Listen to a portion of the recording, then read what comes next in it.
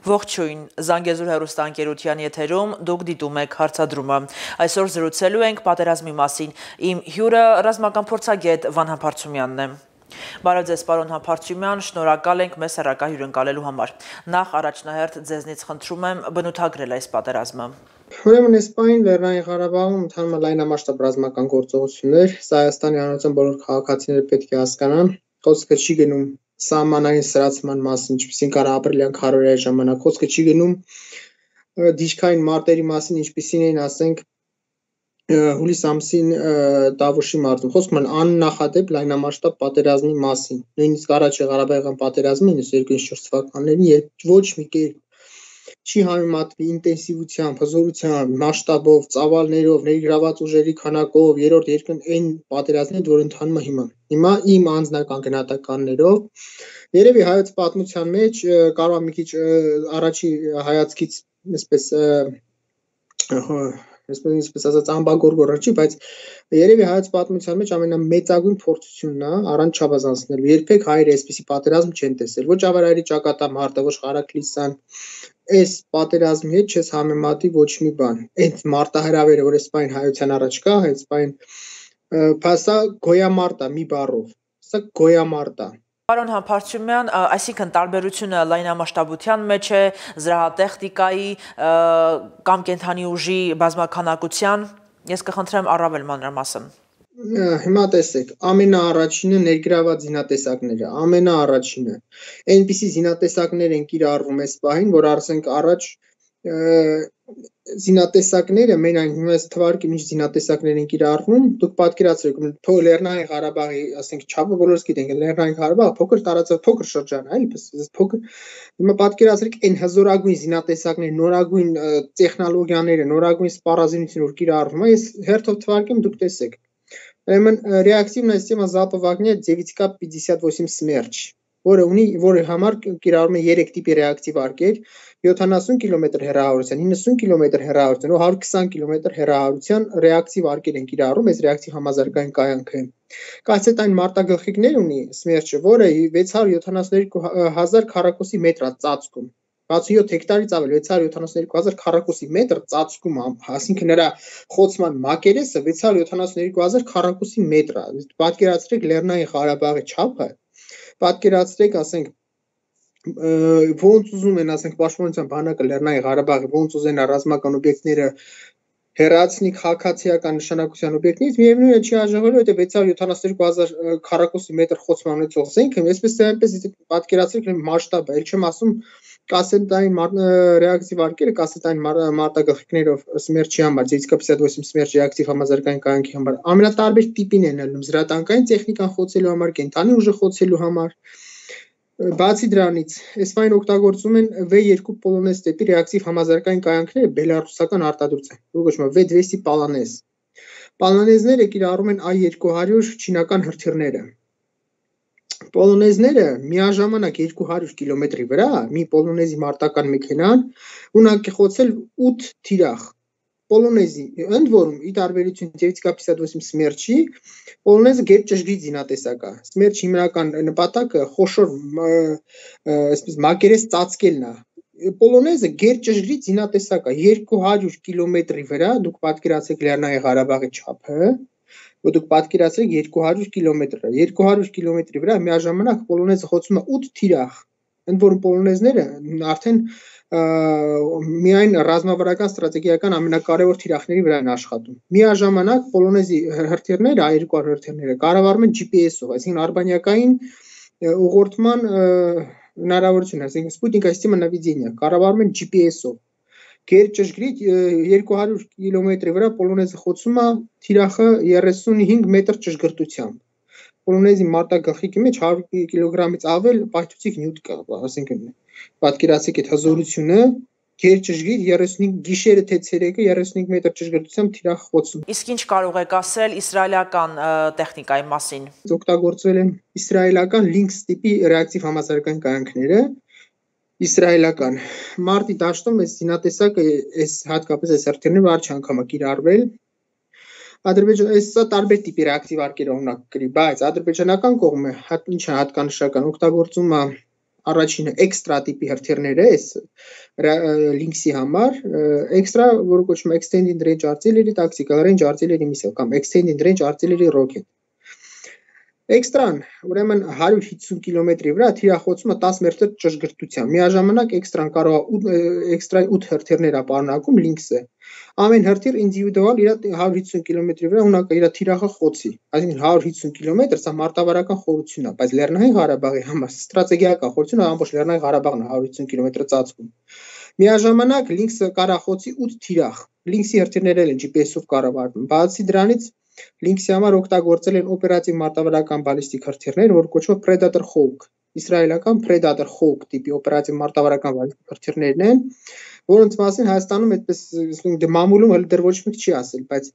Predator Hawk Iskander-ի հակակշիռն է։ Եթե ասենք Zivska 720E Iskander-E օպերատիվ մարտավարական հրթիռային համակարգ, եթե ռուսական արտադրությանը, Predator Hawk-ն դրա իսրայելական արտադրությունն է, այսպես ասենք։ Predator Hawk-ը միաժամանակ 4 հրթիռ կարապարունակի Lynx մարտական մեքենան։ Ունի 300 կիլոմետր հեռահարություն։ Դուք պատկերացնում եք, ասենք խոսքին 300 կիլոմետր հեռահարություն, ասենք օպերատիվ մարտավարական հրթիռներ, բալիստիկ հրթիռներ են, որոնք թիրախոցում են 300 կիլոմետրով 10 մետր ճշգրտությամբ։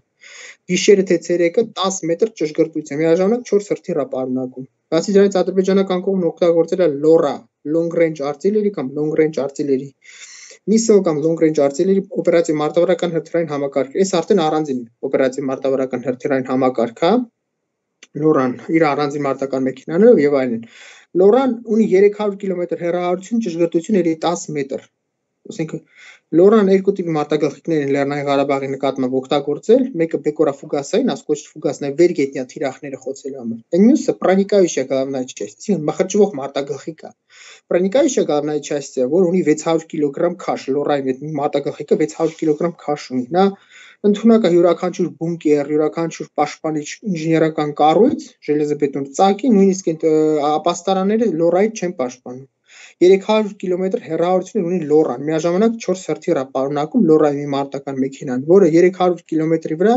պատկերացեք 4 թիրախ միաժամանակ կարելի է խոցել։ Սրանք էլ են GPS-ով կառավարվող հրթիռներ, պատկերացեք 300 կիլոմետրի վրա այս օպերատիվ մարտավարական խորությունն է։ Այսինքն այս տարածաշրջանի մասշտաբով օպերատիվ մարտավարական խորությունը նույն ստրատեգիական է համարվում, որովհետև տարածաշրջանը փոքր է։ Դե պատկերացրեք միաժամանակ 4 թիրախ գերճշգրի 10 մետր ճշգրտությամբ կարախոցի։ Բացի դրանից ռազմաօթային ուժերի ներգրավումը, որ այս պայն օգտագ ադրբեջանությունն է ներգրավել գրոհային ավիացիան այդ ինտենսիվությունը սու 25 գրոհիչները որ աշխատում են պայն այս ինտենսիվությամբ նույնիսկ առաջ Ղարաբաղյան պատերազմը հաստատ չեն թռել Էլ չեմ ասում ամենակարևոր դրվագներից մեկը խոսքնում է գեր ժամանակակից անօթաչ թռչող հարվածային անօթաչ թռչող սարքեր, որ օգտագործում են, որ դեռ տեսակներ կա, որ առաջի անգամ Լեռնային Ղարաբաղում են օգտագործվել։ Այս բանը օգտագործում են շատ ինտենսիվ թուրքական Բայրակտար TB2 տիպի հարվածային հետախուզը հարվածային անօթաչ թռչող սարքերը, որոնք թե կառավարող հրթիռներ են կրում, լազերով կառավարվող, թե ավիառումբեր են կրում, որոնք տարբեր մարտակախիկներով, տարբեր մարտական առաջադրանք կատարելու համար մարտագլխիկներ կա զրապած տեխնիկա, զրատանկային տեխնիկան է խոցում։ Մարտագլխիկներ կա կենթանի ուժն է խոցում ինժեներական կառույցները։ Շատ մեծ ինտենսիվությամբ Բայրակտար TB2 ուրեմն անօթաչ թռչող սարքերն են օգտագործում։ Իսրայելական խարոպ տիպի արդեն առաջ անգամ ապրիլյան 100-յա ժամանակ են օգտագործել այս կամիկադզեները։ Սրանք արդեն կամիկադզե է, խարոպը, այսինքն Խարոպը ունի 1000 կիլոմետր հեռահարություն, հեռաթռիչքի հեռավորություն, 1000 կիլոմետրով նա կարող գնա թիրախը խոցի։ Խարոպի ստրատեգիական կարևորությունը նրանում, որ նա շատ երկար ժամանակ կարա ուզածդ վայրում, ասենք, եթե ենթադրենք Ստորգեյթն մի հատ ռազմաբազա ենթադրենք, որտեղ հակառակորդը օրինակ հայկական կողմ պահում օրինակ մի հատ կարևորագույն զինատեսակ, չէ։ Նա երկու օր անդ մեջ կարա այդ նույն տեղում թրջի խառոպը։ Սպասի միջև զինատեսակը տեղից դուրս գա գնա խոցի, գետ ճշգրիտ։ Գիշեր թե ցերեկը աշխատում են էֆեկտիվ։ Բացի դրանից ուրեմն Arbiter Adinka տիպի կամիկադզեներ են օգտագործել իսրայելական Խերոն տեպե Էյտան տիպի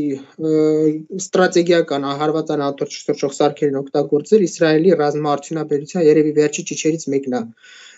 Խերոն տեպեն հենց ինքը Էյտան տիպի հարվածային անթաչ թրջող սարքերը, որոնք էլի կառավարող հրթիռների ավիառումբեր են պարունակում։ Մի հատ կարևոր զինատեսակի մասին եմ ուզում խոսել։ Մի քանի օր Հայաստանում ես էի, որ ասենք առաջին ես եմ եղել, որ այդ մասին բարձրացանել են, որ Իսրայելից ստացել են խարպի տիպի կամիկադզեները։ Խարոպը ընդհանուր վերգետնա տարբեր տիպի թիրախներ խոցելու համար է։ Խարպին, որ ընդհանրեն օրեր առաջ Իսրայելը նվիրել Ադրբեջանի Հանրապետությանը, խարպիները էլի կամիկադզեներ են։ Այսինքն օտար շրջասարքը կամիկադզե տիպի խարպիներ է, բայց ստեղծված են, նախատեսված են ռադիոլոկացիոն կայանքները ոչնչացնելու համար։ Հայաստանի հակաօթային պաշտպանությունը, ինչպես աշխարհի յուրաքանչյուր երկրի հակաօթային պաշտպանության բաղկացած է ձեին թարթերային համակարգերից, ձեին թարթերային համալիրներից, որոնց հիմքում ռադիոլոկացիոն կայանքներն են ընկնում։ Այդ ռադիոլոկացիոն կայանքներով են թիրախը հայտնաբերում, ձեինտային կառավարող հրթիռներին ուղղորդում։ Խարպիները ստեղծված են ռադիոլոկացիոն կայանքները խոցելու համար, այսինքն ստեղծված են հակառակորդի հակաօթային պաշտպանությունը ոչնչացնելու համար ռադիոլոկացիոն կայանք եթե ստեղծվեց, այս այն թարթերային համակարգը, այս այն թարթերային համալիրը դառնում է 0։ Իսրայելը նվիրել է Ադրբեջանի Հանրապետության ինչ առումով նախ մարքեթինգային նկատառումից ելնելով, եթե Իսրայել ադրբեջանական կողմը պայմանավորок կինեն պիսը, որ եթե էֆեկտիվ օգտագործեց հավանեց, արդեն մեծականակ ձեռք կբերի, բացի դրանից Իսրայելը ուզում է իր մարտական մարտադաշտում իր այդ խարպիները փորձի, որտեղ Իսրայելը ունի նպատակ Իրանին հարվածելու, այսպես թե այնպես օրեցնի դա տեղի ունենալու։ Իրանի հակաօթային պաշտպանության համակարգերը սովետառուսական հիմնականում սովետառուսական արտադրության են։ Հայաստանում էլ կա այս 300 Իրանում էլ կա։ Մոդիֆիկացիան տարբեր, Իրանում ավելի ժամանակակից մոդիֆիկացիա, որ կոչվում է S300 P-2 ֆավորիտ, Իրանին ժամանակակից է։ Նույնիսկ նաև Ադրբեջանի հանրություն։ Հայկականը մի քիչ ավելի հին է, S300 PS-ը կոչվում բայց հիմքում միևնույն սրանք էլ նույն ընտանիքի ներկայացուցիչներ են միևնույն է հիմքում նույն զինատեսակն անկնում թեկուզ մոդիֆիկացիան նոր է մի քիչ հին է հիմա ադրբեջանական կողմը իսրայել ուզում է ինչքան էֆեկտիվ կօգտագործի ռուսական հակաօթային պաշտպանության համակարգերի դեմ որոնց որոնցով զինված է հայաստանի հանրապետություն դա ոչ մեկի համար գաղտնիք չի այսինքն իսրայելը որպես խորաման քայլ է գնացել խարպիներից խարպին ունի 400 կիլոմետր թռիչքի հեռավորություն։ Խարպիները ունակ են թիրախոց են 400 կիլոմետրի վրա։ Մարտական գրոային ուղաթիռների տիպը ģեր ժամանակակից հակատանկային հրթիռային կառավարող հրթիռային համակարգերով այսպես օգտագործում Ադրբեջանի Հանրապետությունը, որ ասենք սրանք ամենավերջի ճիքն են հակատանկային զինատեսակի, այսօր առավոտյան երևի եթե չեմ սխալվում ադրբեջանական կողմ օգտագործել է նաև հայկական դիրքերությամբ գեր ժամանակակից երևի աշխարհի ամենա ինչ ասեմ նորագույն հակատանկային կառավարող տերային համակարգերից մեկը որ կոչվում է իսրայելական Spike Enle OS Spike ընտանիքի հրթիռները ասենք հակատանկային կառավարող հրթիռները ելի են օգտագործել հայկական կողմի դեմ բայց Spike and Leo-ը նո line of sight որը կոչվում է ունի 25 կիլոմետր հեռահարություն սա զրատանկային տեխնիկան խոցում է 25 կիլոմետրի վրա Գեր ժամանակակից զինատեսակ, որը մարտի դաշտում են Իսրայել էր կիրառել, ասենք Սիրիայի եւ Լիվանի, Լիբանանի նկատմամբ։ Հիմա արդեն ադրբեջանական կողմն էլ է կիրառում կան զինատեսակներ, որ Ադրբեջանը դեռ չի օգտագործել եւ հետաքրքիր է, որ դեպքում կարող է օգտագործել դրանք։ Կա այդպիսի զինատեսակ, խոսք գնում է Սոմ Բեադին թևավոր հրթիռների մասին։ Ղարաբաղյան պատերազմում դեռ մի տիպի զինատեսակ չի օգտագործվել, դրանք թևավոր հրթիռներն են։ Ադրբեջանի հանրապետության զինված ուժերի ամենաստրատեգիական կարևոր զենքերից մեկն է, կոչվում է Սոմ Բեադին, թուրքական արտադրության թևավոր հրթիռներ են։ Սոմ կոչվում է Սաթա Աթիլան Օրտա Մենզիլի Մուհիմադ կամ Սենդով Մուհիմադ, որը կոչվում է թևավոր հրթիռ հակաօթային պաշտպանության թիրախներ խոցելու համար, ոչ ոք թուրքերից հատ բառացիորեն չեմ կարում թարգմանեմ, Սոմ Բեադին հրթիռները, սրանք թեոր հրթիռներ են։ Եթե Իսկանդերը մնացածը, որ այս թվարկից սրանք բալիստիկ հրթիռներ են, Սոմ Բեադին, սրանք թևավոր հրթիռներ են, այսինքն աերոդինամիկ տրայեկտորիայով են թռնում։ Սրանք ստելս տեխնոլոգիայով են կառուցված, Եր թուրքական ռազմաարդյունաբերության վերջի ճիչերից մեկն է Սոմ B1 թևավոր հրթիռները, ստելս տեխնոլոգիայով են կառուցված, որը հակաօթային պաշտպանության համար գրեթե այսպես ասենք, կամ գեր դժվար խոցելի թիրախներ են, կամ երբեմն անհնար են խոցել, որովհետև ստելս տեխնոլոգիայով, այս ռադիոլոկացիոն ինֆրակարմիր ուլտրամանուշակական դիապազոնում այս թեոր հրթիռները ունեն շատ քիչ տեսանելիություն ռադիոլոկացիոն դիապազոնում երբեմն նախ սրանք թրջում են ռուսերեն ասած սագիվանիմ ռելիեֆա местности լեռնային Ղարաբաղը Հայաստանից սա սարային երկիր է 4 կողմը սարեր է Այս թեոր հրթիռները սարերի միջով, այսպես ասած, բարձրանալով իջնելով, Սագիբանի ռելիեֆը մեծն է ստի, ինչը շատ դժվար է իրան հայտնաբերելը ստեղծուն։ Ունակ են այսպես թրջեր մոտենալ թիրախի շատ ցածր հերաբարձրության վրա, որ ասենք զենթարթրային համակարգը նույնիսկ չեն կարող։ Եվ ունակին գերճրի թիրախները խոց են։ Երկու տիպի ունեն, մեկը սոմբեազին, մեկը սոմբեդվա առաջինը վերգետնյա թիրախները խոցելու համար է, երկրորդի մարտագլխիկը ստեղծված է գեր գեր ամուր, այսպես ժելեզաբետոնային թիրախներ խոցելու համար։ Մեն այն այս զինատեսակն է, որ դեռ չեն կիրառել։ Արձանագրենք, որ Ադրբեջանը այս պատերազմում ներդրել իր ամբողջ ներուժը, թե Ողջ ներուժը դեռ չի ասի, եթե օբյեկտիվ դատենք, որովհետև ամեն դեպքում, եթե օբյեկտիվ պատասխանեմ ձեր հարցին, այս բան ներգրաված է Ադրբեջանի ուժեր 5 բանակային կորպուսներից են բաղկացած, բանակային զորամիավորներից, որոնցից երկուսն, այսինքն երկու բանակային կորպուս է օգտագործում։ Առաջին եւ երկրորդ բանակային կորպուսներն են Լեռնային Ղարաբաղում պատերազմում Թե-թե որոշ ուժեր են միայն երրորդ բանակային կորպուսից հասել են տեղօգնության, դեռ առաջ մնացած 4-րդ 5-րդ բանակային կորպուսները նրանք Հայաստանի Հանրապետության Նախիջևանի ինքնավար հանրապետության, ասենք, սահման են հսկում Տավուշի մարզը նոյեմբերյանից մինչև Նախիջևանի ինքնավար հանրապետություն այս մնացած կորպուսներն են 4-ը եւ 5-րդը երրորդ կորպուսը նա ռեզերվում է գտնվում այսինքն դեռ երրորդ կորպուսի ուժերը դեռ չեն գործադրել երրորդ կորպուսը դեռ գործի չեն դրել եթե օբյեկտիվ լինենք պարոն Հապարցումյան հանրությանը նաեւ հետաքրքիր է թե որ դեպքում Հայաստանը կարող է Իսկանդեր օգտագործել Հիմա տեսեք, հասարակության մեջ մեծ շատ սխալ այսպեսի բան կա, որ եթե Իսկանդերը օգտագործեն, դա ամենահզոր զինատեսակն է, այսպես, այնպես, այնպես ադրբեջանական կողմը նշեցի լինքս ռեակտիվ համազարգային կայանքի օգտագործումը Predator Hawk բալիստիկ օպերատիվ մարտավարական բալիստիկ հրթիռները, LoRa օպերատիվ մարտավարական բալիստիկ հրթիռ։ Սրանք Իսկանդերի հակակշիռն են օգտագործումը ունենց ոնց որ թե մարտի դաշտում առանձնակի բեկում դեռ չի սխալ է մտածել որ Իսկանդերն օգտագործեցին Իսկանդերից ավելի հզոր զինատեսակ հայկական կողմն օգտագործել խոսքը մտածեցի ասես դվա Էլբրուս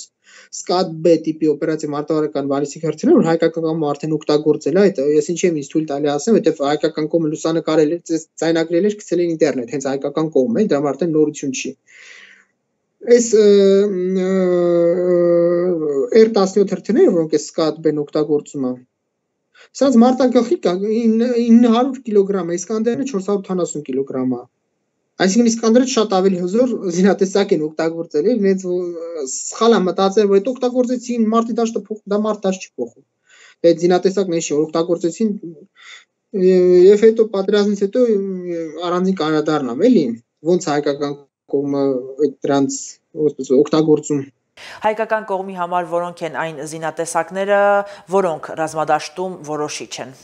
Ընդհանրապես Հայաստանի հայ, Հայաստանի համար, այսպես ասենք, ամենառանցքային զավի զինծառայողն է։ Ամենառանցքում գտնվող, բայց եթե կոնկրետ սպառազինությունից խոսանք, ձևից կապիսած ոչ իմ սմերջ ռեակտիվ համազարգային կայանքներն են Հայաստանի համար ամենառանցքային тактический ռակետնի կոմպլեքս, մարտահրական հրթիռային համակարգը, Ձեվիցկայ Սեմձեից ծիրածին точка ու, որից ադրբեջանական կողմն ունի, որից արդեն հայկան կողմն օգտագործել 120 կիլոմետր հեռահարություն, точка-ն ունի 120 կիլոմետր հեռահարություն։ Իմ ասած Ձեվիցկայ Սեմձ2 Էլբրուս Սկադբե օպերատիվ մարտահրական բալիստիկ հրթիռներ, որոնք ունեն 300 կիլոմետր հեռահարություն։ Ձեվիցկայ 720 Իսկանդերը օպերատիվ մարտահրական հրթիռային համակարգեր, որոնք ունեն 280 կիլոմետր հեռահարություն Եվ բացի դրանից Su-30 SM-ներն են այս պահին, որոնք այսպես ասած հայկական կողմը դեռ գործի չի դրել, ռեզերվում են այսպես ասած գտնվում։ Պարոն Համբարձումյան, ես կխնդրեի նաև խոսենք վարձկաների մասին, որովհետև որ այս պատերազմում կան Թուրքիայի հովանավորչությամբ վարձկաններ, արդեն հայտնի է բոլորին, բայց ես կխնդրեի նաև համեմատություններ տանեք 90-ականների ապրիլյան պատերազմի, այն ժամանակ էլ կային վարձկաններ առհասարակ ովքեր են նրանք եւ ինչի են ընդունակ, ինչ կարող են անել։ Մենք շատ շատ հետաքրքիր հարց տվեցիք եւ շատ կարեւոր։ Հիմա տեսեք, Զինյաներ ադրբեջանական կողմ միշտ էր ներգրավում տարբեր ժամանակահատվածից։ Ներգրավում են առաջին Ղարաբաղյան պատերազմի ժամանակ։ Իհարկե այն Զինյաները, որ հիմա են աշխատում, սրանք Մակարդակով, Որակով իրենց մարտունակությամբ, խոսքը մարտունակության մասին է գտնում, իհարկե ավելի բարձր են, ավելի լավ պատրաստված Զինյաններ են։ Ովքեր են այս Զինյանները։ Զինյանները բերել է Թուրքիայի Հանրապետությունը։ Բերել է Սիրիայից, եւ այս պահի դրությամբ բերում է բեր Լիվիայից։ Երկու տեղերն էլ Թուրքիայի Հանրապետությունը ունի իր ազդեցությունը եւ երկու երկրներում է Սիրիայի Արաբական Հանրապետությունը եւ Լիվիայում Թուրքիայի Հանրապետությունը գտնվում է լայնամասշտաբ պատերազմի մեջ։ Պատերազմը հիմնականում այս գրոհայիններով Սիրիայից բերել են, ուրեմն Սիրիայի Իդլիբ նահանգը թուրքական կողմի վերահսկողության տակ է գտնվում։ Եվ թուրքական կողմը վերահսկում է այս խմբավորման, այս զինյալների շնորհիվ։ Բերել են ուրեմն ամենաառաջինը բրիգադա Սուլտան Մուրադա, Սուլտան Մուրադ բրիգադան Թուրքիայի հանրապետության, Սիրիայից են բերել, որոնք արդեն Սիրիայում առաջի տարին չպատերազմում են, սիրիական պատերազմի ամենասկզբից այս գրոհայինները Սուլտան Մուրադ խմբավորման անդամները սրանք մասնակցել են էթնիկ թուրքեր են, Սիրիա բնակ էթնիկ թուրքեր են, որոնք հայերի նկատմամբ իրենց այս մեղմ ասած, ինչ ասեմ, ցեղասպան վերաբերմունքով արդեն աչքի են ընկել առաջ ես խմբավորումը, եթե երբ որ Սիրիա բանը սիրիական Հալեպը գտնվում էր բաժանված էր երկու մասի կեսը գտնվում էր աբեկչական խմբավորման եւ չափավոր ընդդիմության ձեռքում մնացած կեսը սիրիական կառավարական զորքերի հսկողության տակ այս խմբավորումը որը Թուրքիայի հանրապետությունը կարողացել է մտցնել բանի մեջ չափավոր ընդդիմության մեջ սիրիական հայկական եթե մնացած ասենք խմբավորումները հիմնականում պատերազմում էին կառավարական զորքերի դեմ Սուլտան Մուրադ խմբավորումը պատերազմում էր հատկապես հայերի դեմ Հալեպում յուրահատ յուրահատուկ դաշնությամբ հարված հրթիռային հարվածներ էին հասցնում հենց հայաբնակ իսկ Հալեպը հայաշատ թաղամը Սուլտան Մուրադ խմբավորման անդամները յուրահատուկ ձևով դաշնությամբ դպրոցներն էին թիրախավորում հայկական թաղամասերը դեպ հայալ երբ որ Հալեպում ուրեմն ջրատար այդ խողովակները խմելու ջրյամա նախատեսած, որ հայկական թաղամասերս նույնիսկ թունավորել են, այդպես դեպքեր եղել, որ խմբավորման անդամները թունավորել են։ Քեսավում հայերի նկատմամբ դաժան վերաբերմունքով արդեն այս խմբավորումը աչքի է ընկել։ Բացի դրանից գործում է Ջուփխատ Անուսրա խմբավորումը, որը թուրքական կողմանը փոխել է, դարձրել են Խայատ Տախրեր Աշամ, Ջուփխատ Անուսրա խմբավորումը բերել է Սիրիայից, հենց Իդլիբ նահանգից։ Սրանք Ալ-Կաիդայի ֆիլիալն են Սիրիայում Ալ-Կայդա հայտնի աղքատի խմբարը ամբողջ աշխարհը գիտի, սեպտեմբերի 11-ի հետևում Ալ-Կայդան էր կանգնած։ Ալ-Կայդայի մասնաճյուղն է Սիրիայում։ Հիմա այս ահաբեկիչներին Ալ-Կայդայի անդամներին փաստացի, դա ոչ մեկ չի հերքում, տարիներ շարունակ ջուպատանուսրա խմբավորումը զինել են, ֆինանսավորել են, Թուրքիայցան տարբեր հատուկ ճամբարներում պատրաստել են Թուրքիայի հանրապետության մասնագետները, թուրք արտաքին հետախուզության ներկայացուցիչները։ Թուրքիայի հանրապետությունը զինել է խմբավորմանը շատ մարտունակ խմբավորում է, որը կառավարական զորքերի դեմ սիրիական էլիտար հատուկ նշանակության ստորաբաժումը Սիլ Տիգրա սիրիական զինված ուժերի սպեցնազի հատուկ նշանակության ստորաբաժանը դա մարտ լուրջ մարտերի մեջ համասնակցել լուրջ արդյունքներ, ասենք բավական մարտունակ խմբավորում է ճպխատանուսրա խմբավորումը Հիմա սրանք են գտնվում բացի դրանից Նուրալդինա Զինքի խմբավորումն են Սիրիայից բերել, որ էլի շափավոր ընդդիմություն է համարվում, բայց այսպես գործունեությամբ երբեմն աբեկչական խմբավորումը հիշեցնում բերել են Խայեբանը ուրեմն Ախրարաշամ խմբավորման անդամներին Սիրիայից սրանք արդեն սալավիտներ են Այս եւ հիմա բերում են Լիվիայից Լիվիայում Թուրքական հանրապետություն գտնվում պատերազմի մեջ պատերազմում են Ֆայս Լիվիայում պատերազմի մեջ երկու մասի է բաժանված, այսպես թիմի երկու ճամբարների են բաժանված։ Մի կողմը Ֆայս Սարաջը գործող նախագահում աջակցում է Թուրքիայի Հանրապետությունը եւ զինում եւ ում համար պատերազմի Թուրքիայի Հանրապետությունը, մի կողմում գտնվում են Ֆելդմարշալ Խալիֆա Խաֆտարը, որն աջակցում Ռուսաստանի Դաշնությունը։ Հիմա Թուրքիայի Հանրապետությունը այնտեղ իր բազմահազարանոց զինյալների բանակն ունի, որոնցով պատերազմում են ռուսական ուժերի դեմ եւ ուրեմն Խալիֆա Խաֆտեր ուժերի դեմ։ Լիվիայից էլ են բավական մեծ քանակությամբ գրոհայիններ բերում։ Հիմա տեսեք, այս գրոհայինները բարոյական տեսանկյունից իհարկե դատապարտելի գրոհայիններ բերել աբեկչական խմբավորումներ, ինչպես կարելի է եւ բարոյական տեսանկյունից։ Ռազմական տեսանկյունից, եթե ես օբյեկտիվ ասեմ, չէ, սա ստրատեգիական կարևորության քայլ ինչի համար։ Ուրեմն հայկական դիրքերը գրոհելուց առաջ, ասենք, ուղարկում են հենց այս խմբավորումների գրոհայիններին։ Այս գրոհայինները ականապա դաշտերով, ականների վրա պայթելով գնում են հասնում հայկական դիրքերին, հայկական դիրքերի դեմ մարտի են բռնվում,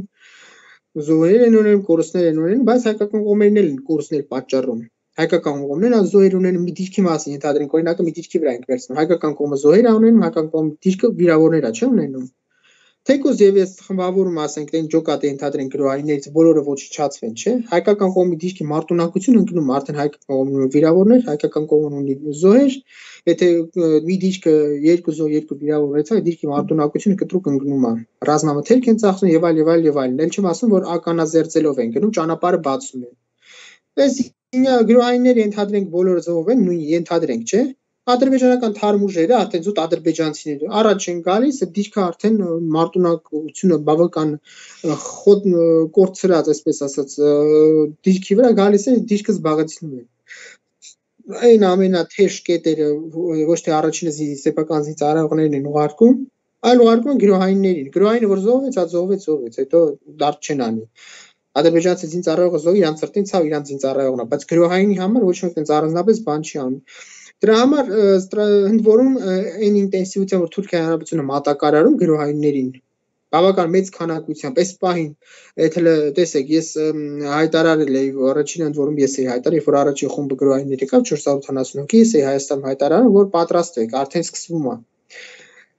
Ընդհանուր առմամբ այնքան բերեցին թիվը հասավ 4000-ի միայն Սիրիայից սիրիական գրոհայինների թիվը 4000 էր բայց Լիվիայից այս պահին մեծ քանակությամբ նորից բերում են գրոհայիններ Լեռնային Ղարաբաղ սա կարևոր դրվագ է որովհետև թուրքական եւ ադրբեջանական կողմի շատ լավ հաշվարկ էին արել ռազմական տեսանկյունից։ Պատերազմ սկսել են այն ժամանակ, երբ որ սահմանների փակած Թուրք չի կարող հասնի Հայաստանի։ Հասկանում եք։ Նրանք սնուցում են, նրանք բերում են, հորինական չեն բերում։ Թուրքական Airbus H400M Atlas տիպի ծանր տրանսպորտային ինքնաթիռները անընդհատ վայրեջք են կատարում Լիվիայում, իսկ մի այդպես ինքնաթիռը միաժամանակ 100 լա ամբողջությամբ զինված գրոհային կարող է բերել 100 հոգի մի ինքնաթիռ մի քանի անգամ այդպիսի ռեյսեր են եղել եւ շարունակում են լինել պատկերացրեք մի քանի ինքնաթիռներ մի քանի անգամ գնում վերադառնում են պատկերացրեք խոսքը մի քանի 100 հոգու մասին եւ սրանք մարտունակ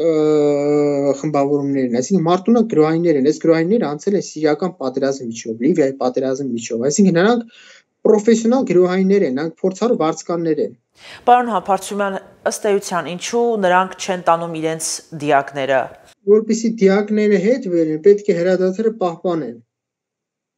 Որովհետև մարտնակարակոցից ժամանակ ոչ ոք չի կարող գնա դիակ բերի, չէ՞։ Բայց չեն ուզում հրադադարը պահպանեն որովհետև ինտենսիվ, որովհետև հրադադարը պահպանեն բոլորը հասկանում երկու կողմերն շունչ են քաշելու։ Ադրբեջանական կողմը չի ուզում, որ հայկական կողմն շունչ քաշի, նոր ուժեր բերի, այսպես ասած, Իմ կարծիքով հենց այդ է որ շատ մեծ տեմպով անընդհատ ուզում են գրոհեն, անընդհատ ուզում են հայկական կողմին հյուծեն։ Որպեսզի այդ որպեսի դիակներ տանեն, պետք է ասես ասած հրադադարը պահպանել, բայց ոչ մի ձև չեն պահպանում հրադադարը։ Կխնդրեմ նշեք պատերազմի ռազմական որ որ փուլում ենք այժմ։ Տեսեք, շատ թեժ սա ծանր փուլում ենք բրջագույն դժվարությունների առաջ կանգնած կան եթե հիմնվենք օրինակ ես Արայք Հարությունյանի ելույթից ես թողում եմ անում Արայք Հարությունյանի վրա, էլի ինձ չեմ ասում։ Արայք Հարությունյանի ելույթից ակնհայտ է դառնում, որ առաջ են եկել հայ կողմը որոշակի տարածքները կորցրել, բավական լուրջ թեժ, այսպես դժվարը փուլում ենք, շատ ինտենսիվ, այս փուլում ես մի քիչ այսպես ասած շատ բան իրավա պետական այրերը երևի ավելի շատ իրավասու են ասել, շատ բանի վրա չվերցնեմ էլի, բայց շատ թեժ, շատ դժվար, շատ պատասխանատու փուլում ենք եւ Ես կասեի պատմական փուլում ենք, այսպես ասեմ այս օրերին վճռվում է վաղվա վաղվա օրը բարիս ամենաբուն իմաստով Պարոն Համբարձումյան իսկ Հայաստանը ռազմական կարողություն ունի պատերազմի ընթացքը շրջելու Որպեսի օբյեկտիվ լինեմ շրջել ասելով վերադարձնի կորցրած տարածքները որտեվ իմ Արայք Հարությունյանին հղում անենք հա կոմ կորուստներ ունեցել է շրջել վերադարձնել, այսպես ասեմ, հայկական կողմի համար հիմա շատ բարենպաստ լավ կլինի, եթե հենց թեկուս սենց ինչ որ կա մարտական գործողությունը վերջանան, ասեմ, կտրուկ բեկումնա ինչ որ բան կարող մտցնել ու ինչ ասեմ, Իսկ այդ բեկումը ինչպիսին պիտի լինի, ինչ պետք է իրենից ենթադրի, որ բոլոր խաղակարերը հոգուտ մեզ լինեն եթե օբյեկտիվ եւ անկեղծ լինենք Հայաստանը ինչ պետք է անի, պետք է անի քաղաքական դաշտում։ Հայաստանի մարտի դաշտում արդեն այն որ ասում եմ մաքսիմալ ուժերը ցույց են տվել։ Հիմա ադրբեջանական կողմը անցել է ադրբեջանից պատերազմ, ադրբեջանական կողմը երկու փուլով էր պլանավորում։ Առաջի փուլը внезапно обезоруживающий внезапно обезоруживающий удар, այսինքն զինաթափող հանկարծակի հարված։ Կարևորագույն Հայաստանին զինատեսակները օրինակ կան, չէ՞, ասենք օրինակ Ձեյսկա 720 Իսկանդեր օպերացիա մարտավարական հեթերային համակարգի Հայաստանի ամենակարևոր Հայաստանի զինանոցի զենքերը առաջ մաքսիմալ առաջի ժամերում հանկարծակի հարված հասնել, ոչ չհասնել մաքսիմալ, այսպես է ստրատեգիական կարևորություն հայկական կողմից զրկել, երկրորդ փուլը հյուծել։ Հիմա գնում այդ հյուծվող փուլը։ Հայկական կողմը ամեն օր փորձում են հյուծել ամեն ինչ օգտագործելով հրթիռարետանային հարվածներից սկսած ռազմեսոր ռազմայից բան ես վերջ տեղեկություններով գրոային ավիացիան ադրբեջանցյան զինված ուժերի շատ ուժեղ աշխատում է լեռնային արմասին ավիացիայով հարվածային անթարժ ուզում են հյուծեն հայկական կողմին հայկական կողմը եթե օբյեկտիվ ենք լինում հիմա եթե ուզում եք ես օբյեկտիվ եմ հայկական կողմը եւ ադրբեջանը ունեն տարբեր ռեսուրսներ ադրբեջանությունը շատ ուժեղ ռազմաարդյունաբերություն հայրենասիրությունը ընդհանրապես չի կարողանում ասենք հասարակության համար ականջահաճո խոսքեր ասես երկու երկրները ունեն տարբեր քաշային կատեգորիաներ, տարբեր ռեսուրսներ։ Հիմա Հայաստանին չի կարելի, որ Հայաստանը երկար ներքաշվի այս հյուծող պատերազմի մեջ։ Եթե Հայաստանը կա վտանգ, որ հիմա Հայաստանի բեկում պետք է մտցնի քաղաքական դաշտում։ Ռուսաստանի Դաշնության ներգրավմամբ իմ կարծիքով թիմ 1 խնդիրը պետք է լինի, այսինքն Հայաստանը պետք է տա ասիմետրիկ պատասխան։ Հիշեցնեմ, որ մենք այսօր զրուցում ենք պատերազմի մասին, իմ այսօրվա զրուցակիցը ռազմական փորձագետ Վան Համբարձումյանն էր։ Այսքանն ենք նախատեսել, կհանդիպենք։ Thank you.